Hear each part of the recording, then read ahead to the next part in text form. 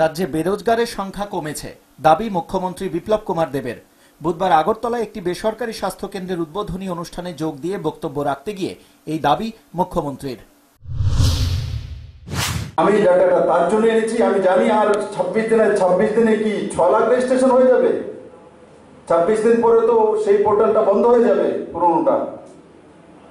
তো যেটা national career সার্ভিসের রেজিস্ট্রেশন রয়েছে, সেটাই আনএমপ্লয়মেন্টের যুক্তি তর্কে বেরোজগার। তো সেই হিসেবে এক লাখ ছাপ্পান্ন হাজার রয়েছে, তার সঙ্গে যদি দশ হাজার, পনেরো হাজার আরও জুড়ে যায় তবু সেটা বিলো টু লাখ থাকবে। আমি গর্ব করি, আমার ত্রিপুরা রাজ্যের মধ্যে বিলো টু লাখ আনএমপ্লয়মেন্ট রয়েছে, পনে আট লাখ নয়।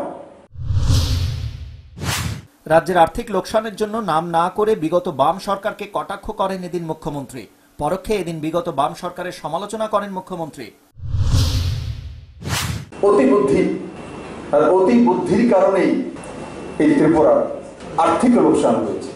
এবং এই অতি বুদ্ধিমানদেরকে দু হাজার নির্বাচনে মানুষ চিহ্নিত করে তাদের সিদ্ধান্ত দিয়েছে সরকার পরিচালনা থোড়ি করেছে এরা।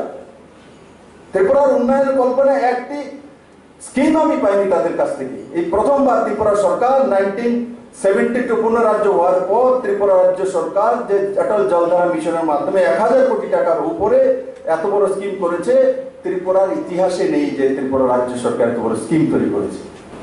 ওদের কোনো স্কিম ছিল না।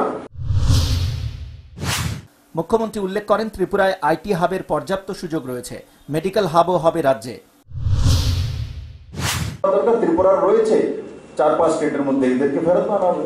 দ্বিতীয়ত ক্লাইমেট আইটি অ্যাপের জন্য আদর্শ climate third high speed internet gateway কক্সবাজারের ত্রিপুরার কাছে রয়েছে। এর তিনটি ত্রিপুরাতে আইটি অ্যাপ হওয়ার প্লাস পয়েন্ট যেটা আসামের কাছে নেই ওয়েস্ট বেঙ্গলের কাছে নেই বা নর্থ ইস্টের অন্যান্য রাজ্যের কাছে নেই। মেডিকেল হাবও ত্রিপুরা হবে। অনুষ্ঠানে উপস্থিত থাকেন সাংসদ প্রতিমা ভৌমিক। আগামী দিন আমাদের ছেলেমেয়েরাও কাজ পাবে। আমাদের মানুষও রাজ্যে চিকিৎসা পাবে এবং যারা ডাক্তার বাইরে থেকে এসছেন, তাদেরকে অনুরোধ করব আরও বেশি পরিষেবা কীভাবে রাজ্যকে দেওয়া যায়। আমাদের রাজ্যের আদরণীয় মুখ্যমন্ত্রী উনি চাইছেন, বাইরে থেকে কনসার্ন হসপিটাল আসুক। আমাদের রাজ্যের মানুষ যাতে চেন্নাইতে বেলুরে দিল্লিতে, বোম্বেতে যেতে না হয়, তার জন্য উনি নিরলস চেষ্টা করছেন এবং আমরা সবাই ওনার চেষ্টাকে সম্মান জানাব এবং সেই লক্ষ্যে আমরা কাজ করব। ত্রিপুরা রাজ্যের স্বাস্থ্য পরিষেবাকে শুধু ত্রিপুরা রাজ্যের মানুষের পরিষেবা পাবে সেটা না, আমাদের পার্শ্ববর্তী রাজ্য, রাষ্ট্র যেটা বাংলাদেশ, সেটাই কিন্তু আমাদেরকে কাছ থেকে পরিষেবা পাবে যেটা আমাদের ডেভেলপমেন্টে অনেক কাজে আসবে। অন্যান্যদের মধ্যে উপস্থিত থাকেন বিধায়ক আশিস সাহা। হেডলাইন্স ত্রিপুরা।